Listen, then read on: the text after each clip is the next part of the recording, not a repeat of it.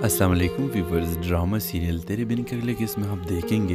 Viewers, जब मुर्तसिम मीरब से कहता है कि प्लीज़ मुझे मत छोड़ना, इसके बाद व्यूवर्स मीरब सोचती है कि अब तो मुर्तसिम मुझे प्यार करने लगा है और अब मैं एक ऐसा प्लान बनाऊँगी कि मुर्तसिम दोबारा मुझसे नफरत शुरू करे और अगर मैं खुद कह दे कि मुझे मीरब पसंद नहीं है, लेकिन व्यूवर्स, अब खान मुर्तसिम खान कभी भी मीरब को नहीं छोड़ेगा।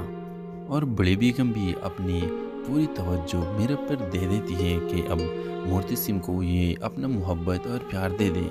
अगली किस्त में आप देखेंगे कि मूर्ति सिंह की मदर अब मीरब को कहेगी कि, मीरब, अब तुम मेरे काम संभालोगी। घर के जितने भी, घर में जितने भी लोग आते हैं, जितने भी औरतें आती हैं, इसके सारे मसले तुम हल करोगी। लेकिन व्यूवर्स मेरे भी ये सब नहीं संभाल सकती, क्योंकि वो तो मॉडर्न लड़की है और इसको ये सब पसंद भी नहीं है। लेकिन व्यूवर्स मेरे अंदाजे के मुताबिक आप कुछ अर्से बाद देखेंगे कि मीरब को ये सब कुछ पसंद आएगा और वो अपनी मर्ज़ी से ये सब करेगी।